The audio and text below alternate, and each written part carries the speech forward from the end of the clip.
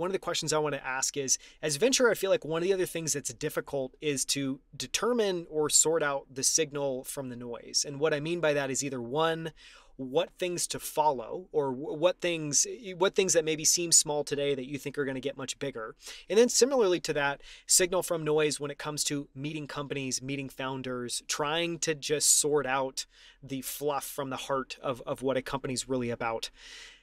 difficult question do you have any advice or any just being you know introspective about that how you think about separating signal from noise yeah it's um it's a good one, and I'd say you know what I've learned in our in our business is. Um, you know, it's it, beauty is in the eye of the beholder uh, for so much of uh, investing in early stage, particularly the earliest stages as we do. And you know, when you're getting to a decision, there could be you know 52 reasons to do it, 48 not, and someone else would have it sort of flipped around. And so,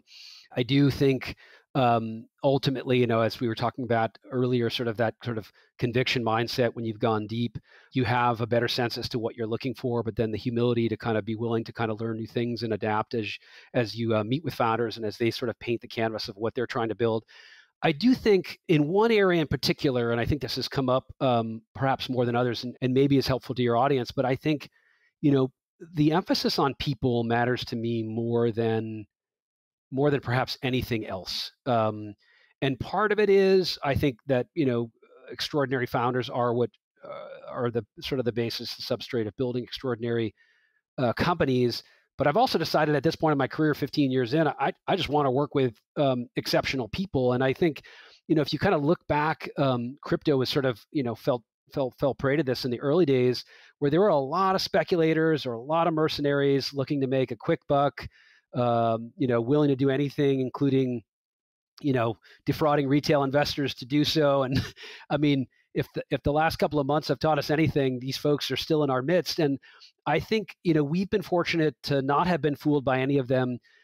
But when I think uh, back on sort of why that is and what we're looking for in crypto founders is, you know, we really, really like these deeply technical founders with a very strong reputation to uphold um, they're not here to do one thing. They are thinking about the full arc of of their career. In many cases, they're thinking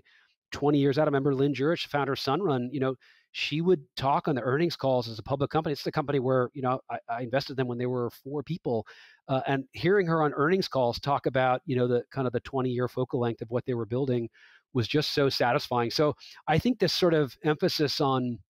why you're here, what you're building, um, what fills your tank uh, as a founder, I think matters a lot to us. And we do everything we can to learn about that before we invest um, so that we have a real sense of conviction around those founders to live through, you know, the hard times and um, and be, you know, still be, be excited to build something of import.